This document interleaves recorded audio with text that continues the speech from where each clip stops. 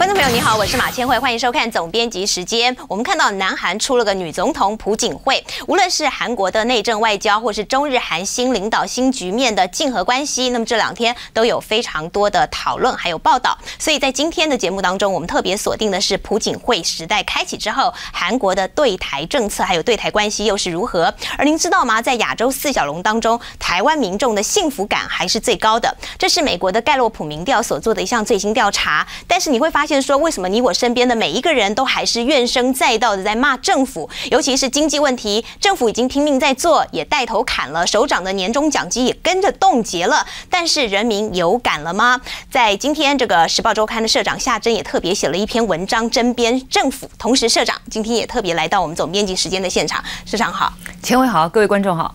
好，我们在呃要进入我们接下来讨论之前呢，先来看看，那么这一回南韩选出了女总统是史上第一位，在台湾方面也引起了一连串的政治反应还有解读。有外交学者就认为，朴槿惠的个性跟马总统很像，有高道德标准又很龟毛，执政风格不会差太多。而曾经跟台湾女总统擦肩而过的前民进党主席蔡英文则说，政党轮替要改革才有竞争性。那么韩国经验值得台湾借鉴。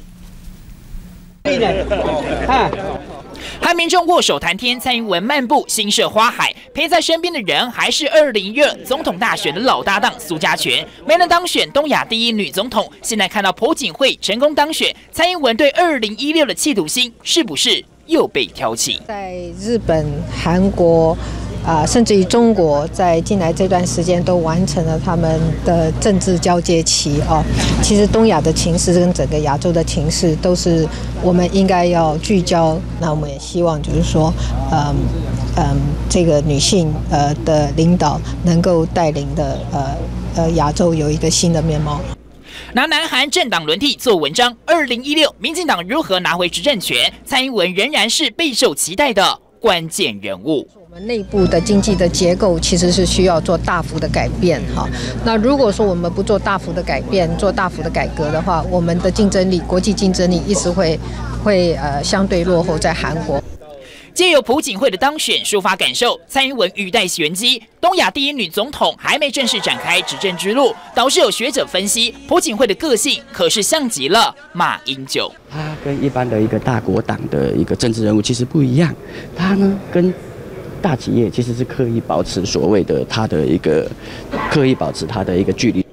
学者指出，两人同样都是道德标准高、对下属严厉又龟毛的人。过去呃，也许没有人像我这么龟毛。曾经自评龟毛，马总统当初说这句话时，或许有点自豪。只是在台湾民意对马总统满意度亟待提升的此刻，个性类似，能否发挥出不同的作风与评价？朴槿惠有五年任期，马总统已经第二任，追求历史定位的时间压力不等人。好，各界有许多的解读哦，包括这是南韩的新总统朴槿惠，他跟台湾颇有渊源。比如说，他曾经来过台湾，在台湾也拥有不少朋友，也获颁了文化大学荣誉博士学位，同时也略懂中文。只是我要请教社长的是呢，他的知台难道等于亲台吗？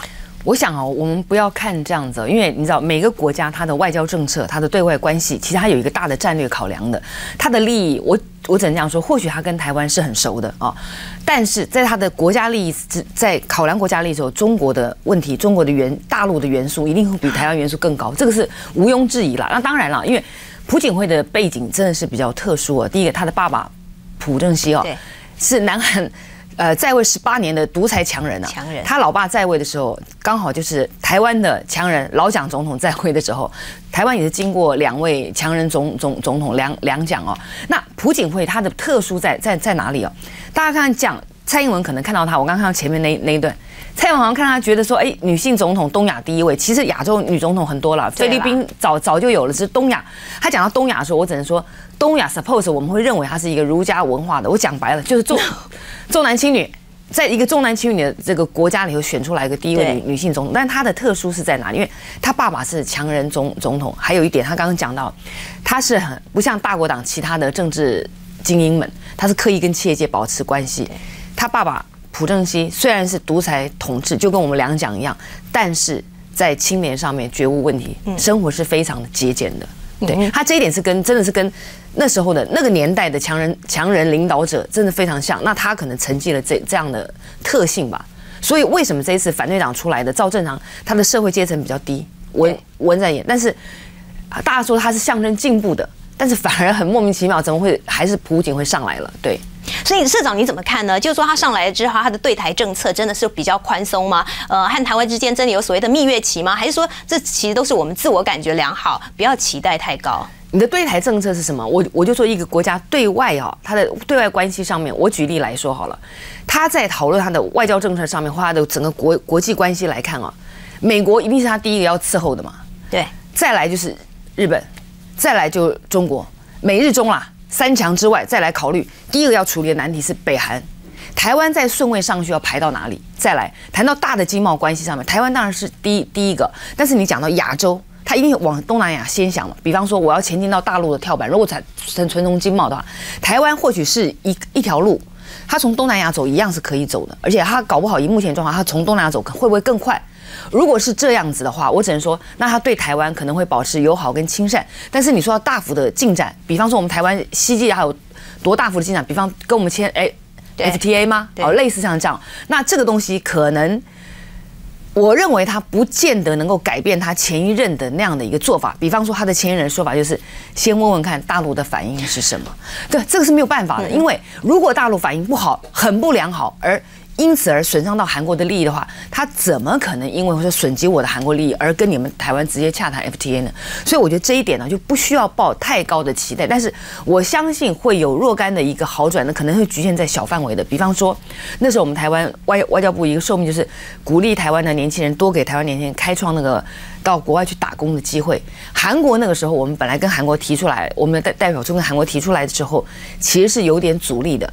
那当然也跟他也跟朴槿惠反映，那时候他当国会议员的时候，就认为说这件事情其实很好，所以在某种程度也是帮我们推动了这个事了。好，那我我就跟你说，他推动帮我们台湾的年轻人赴韩国打工，哎，某种程度是符合他国家利益的嘛？为什么开放观光啊？我们的人当然不论去观光或者打工，他的消费呢是在那里嘛，是帮助他的，嗯，他是要对他是要两利的，他才会做。是实实在在的，对对对。好，不过就是说，在这个情势比人强的情况之下，其实台湾也需要就是在夹缝中求生存嘛。是。那么，当然我们知道说，在台韩没有邦交的情况之下，就像刚刚社长所言，你要大幅的改变这个双边的关系，其实是有困难度的。但是台湾总要做点什么，是台湾可以怎么做？比如说，是不是增加一些实质的沟通管道这个部分，尤其是在这个签署台韩经贸协定的部分。我想经贸协定这个当然是啊，不管我刚刚虽然说了说是有难度，但是你总是要有进。展嘛，毕毕毕竟两岸经贸架构协议哦，X 法都已经签了，X 法都已经签完之后，就表示我们其实应该后续可以开始进展了。那坦白讲，我们跟别人签订了任何的，你我举例好了，比方说投资保护协定，在对台韩之间来讲哈，台湾人到韩国去投资的，我想不太容易吧。韩国某种程度其实它除了开放美国的一堆东西进来之外，因为大国压力之下，你说台湾要去什么？可能农产品会交流了，韩国的苹果也会到我们这边来，我们农产品也一样会去，这个东西是会有的。那就产业，朴槿惠曾经在呃两千零一年吧，我如果没有记错的话，是在我们文化大学修习最高产业战战略的课程哦。好，最高产业战略是什么？我们只能跟他交换农农特产产品吗？还有没有其他的？比方说高科技，现在你别忘记了，我们台湾的高科技跟韩国是处于一个高度竞争关系，打对台。在这么高度竞争关系中，我们要怎么去谈？这某种程度，就就算我们想谈，可能我我们这些高科技业者都还想说，哎，你先想好，千万不要损伤损及到我们的利益之后，你再去谈。我觉得这一点是我们必须要想清楚的了。那同样的，你说刚刚讲是呃投资保障协定，另外还有一个贸易互惠呢？贸易互惠就是我们台湾人有多少人可以到我们去投投资，或他们韩韩韩国的厂商有多少人可以来哦？这部分我觉得可能都要。比较精密的评估这一部分，经济部跟经济会，我想它责无旁旁贷。你必须要考量说哪些项目是我们可以做得到的。我想台湾人其实台韩关系真的很密切。你要因为中日韩了这样子，中日韩台这样讲，这个关系其实这个历史渊源太久了。很多我我们的侨民在韩国住了很长一段时间。我们的你知道，我我像我们早年。念书的时候，韩国侨生是跟东南亚侨生、香港侨生一样，是最多的、最快的一大宗啊。很多中国人是居住住住居在那儿的，所以这个关系本来就很密。那这里头就是你要怎么算他是台商也好，或者是就是早期旅居韩国一直留在那里的，其实很大部分的人有很大部分都已经回到台湾来了。那这部分关系我们怎么重建？还有一个我们投资贸易可以做到什么程度？我能不能到那边去设厂？到韩国市场可能也不是这么轻松的事儿哦。我想他那边的工资也不可能低，所以这部分还是不是我们的投资的业者会希望的？不一定啊，可能就不要啊。啊，同样的，你说像台湾，台湾人最喜最会也最喜欢炒房地产，你认为到韩国去有房地产可以炒吗？他们允不允许你做呢？啊，我就我觉得这边可能不是我们这么想象一个大帽子，想说对经贸投资就很好。哎，项目先把项目弄清楚，别人会放什么，我们要放什么。对，但有些细项我们还是可以先做，先预做准备。对就是呃，在顺着没错。刚刚呃，社长也提到了一一一，不管是投资啊，对不管是这个经济双边互惠的部分对，然后甚至更早你讲到，哎，对年轻人来说，是不是到韩国打工？那事实上回归在政府这一块，是不是其实我们应该也要培养一些知韩的人才？我想这一点是啦，因为就我们亚洲来看呢、我们虽然这我们台湾中华民国，我们还是自居是大大国的，我们从整个大中国的角度来看啊，我们在台湾真的外交人人才。英文的最多嘛，大家对讲几乎英文，你不管你派驻到哪个邦交国，你都要会西班牙文、法文啊，德文都已经嫌少了。在东南亚国家里头，真的是比较少，不会不太会讲对方国的语言。那我刚刚讲到，其实我们跟韩国关系这么密，从韩国回来的侨胞子弟们这么多，华侨子弟们这么多，你说真的没有韩语人才吗？我相信一定有，但是只是散落在民间了，在我们的外交体系、正式的外交体系里头培养过程中间，真的非常少。像我印象里，扁政府那时候好不容易还找了，扁政府其实在韩国的外交上面其实是蛮努努力的。我讲嘛，朴槿惠到我们台台台湾来念念书，那会二零零一就是扁政府那时候来的，他是很用力在打这一块的关系。但是他即便是很用力打，扁政府还是。也是一招半办事啊，也没有是真的很培养出很精准的有韩语人才，可以直接跟他们沟通了。但是韩国社会是讲求人人脉的啊啊，你语言不通，你怎么打进到他们社会去？我觉得这一点是蛮重要的。就还是隔了一层对嘛，哦对对对。好，那么在国际关系的部分，其实刚刚社长已经点到了啦。其实现在没办法了，因为就是你真正在对于台湾参与国际组织来说，如果到关键时刻的时候，韩国还是会选择站在大陆的那一边。所以你们在台面上是这样嘛？私下可能跟我们质疑一下怎么样？对，但是所以我可以这样讲吗？就是说，只要两岸关系有进展，台韩关系就会再更进一步。我就说你期待的更进一步是什么？我们不可能跟他建建交吧？我就我就就是你这不可能恢复邦邦交，你最更深的进展的。我们到现在为止，台湾关系其实并不坏。我坦坦白讲，我们印象里可能还记得那个那时候中韩断断交、台韩断交的时候那一段呢，就是因为觉得韩国人怎么这么不讲道义，因为那个渊源牵扯，再加上两边的强人统治这么久了哈，大家都一直认为应该是很好的，而且都是反共的。更何况我们对付的是一个北京的中国大大陆，他们对付的是一个北韩更。可可怕，你怎么可以就这样跟我们断断交了呢？啊，那时候是有那样的一个心理创伤在。可是经过那个断交事件之后，其实陆续台韩的关系其实进展的其实一直都并不错。光光日本跟韩国是我们台湾啊蛮重大的一个，就是在亚洲国家，我们跟韩国观光其实一直都跑得非常早。像你看现在我们直航机场，首尔机场的直航也都开开通了嘛免签证也都做了嘛。我觉得这一部分其实还有一个，就剩下一个高层互访嘛，其实问题也不大。像朴槿惠国会议员的访问绝对没有问题了。我相信一定层级的政府往来。